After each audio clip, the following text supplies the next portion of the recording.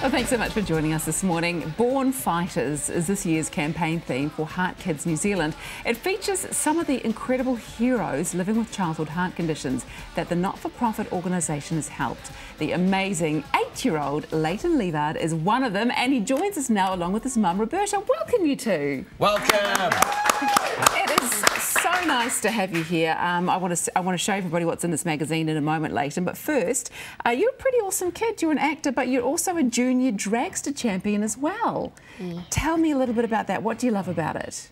Um, I love to race um, with my mum because she used to do racing, so that's how I got into it. But I love to do it because um, my whole family used to do it. Yeah, oh, cool. It's a great thing to do. And it's good to do sports with your mum as well.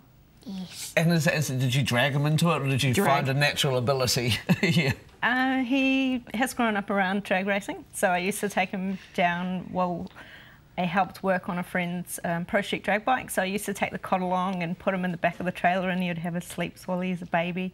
He used to carry his little teddy bear around, walking around the track. So he's he's grown up at the track, and inevitably that's what he wants to do is race. Love it, Perfect. yeah. Actually, I should show I should show you this. I hope you can zoom in on this. This is because not only you are a dragster, but you also are an actor as well. And I don't know if you can zoom in on the top picture there.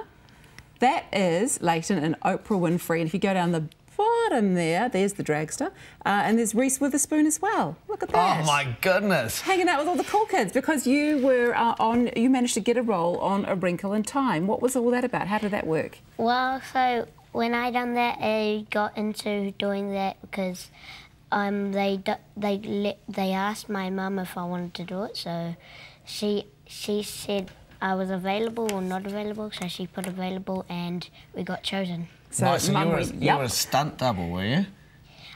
Um, I was actually a body double, I think. Yeah, a body double that um, I played for Charles Wallace in the movie. Because you look just like her, but now obviously you've got the bug as well, haven't you? What was it like meeting Oprah? Because she's a very big deal. Um, was she lovely? Yes. Was she? Roberta, was she not? Did you get to meet her too? Yes, she was very nice. They were all very accommodating. Um, Reese was the she was the nicest one. She uh, kept walking over and coming and uh, conversating with me. Um, Oprah was a lot busier, and uh, everybody Oprah. everybody wanted to see Oprah. Yeah, but Reese, she would just walk up and hang out with you. Oh, nice. Now, they'll never hear this, Leighton, but if you had to pick one to hang out with, would it be Reese or would it be Oprah? Um, I would probably say Oprah. Okay, Yeah, oh, cool. why not? Um, Roberta, can you tell me a little bit about Leighton's heart condition? Um, there are instances where there'd be some quite dramatic things happen, wouldn't there? Uh, so Leighton was quite sick while he was young. Um, as a baby, he was in and out of hospital, A&Es, doctors, everything you name it. Um, I wasn't quite sure what was wrong, eh, anything from eczema to asthma, and eventually it was accidentally found that he had a heart condition. Um, so Leighton has what's called an AVM. It's an arteriovenous malformation, and the specialist said that if it wasn't found uh, when he's a teenager, the more sport that he um, decided to become involved in, that eventually his heart would have given up. And he would turn Um, blue and things at times. He would quite often turn blue, his hands, his feet. He was actually born quite blue, but I didn't think much of it then. Um, it's, I think it's just a mother's intuition when something's not right. So you just, you know, have to keep taking them back and ask what's wrong and yeah. Well, on that, how has Heart Kids helped? Uh, Heart Kids are amazing. Um, they unfortunately don't receive any government funding, so they support so many families around the country.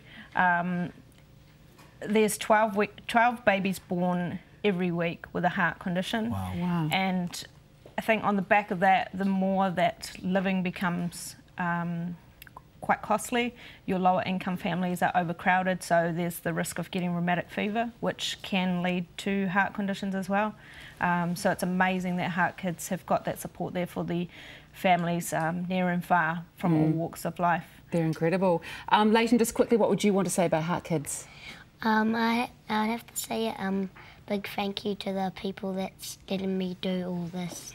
Awesome, that's Ah, cool. well, thank you so much for joining us and good luck looking forward to seeing you on the screen soon. Yeah, can't wait. Yeah. Uh, this is Heart Kids Appeal Week. To find out more about Heart Kids and to donate or to find out how you can get involved, check out their website heartkids.org.nz or jump onto their Facebook page.